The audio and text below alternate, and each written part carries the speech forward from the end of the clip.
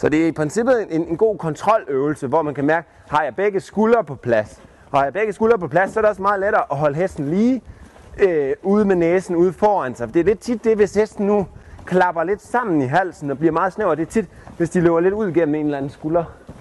Så for at få den skulder ind, frem her er det lidt så en højre skulder faktisk. Så det gør jeg rigtig meget, så kan jeg faktisk kontrastille en lille smule ind i, ind i den der sænkelvigning. Og ved lige, så lidt derover af. Godt, og så lidt lige, og så mange, og jeg sidder helt lige der, godt, og kommer over. Ja,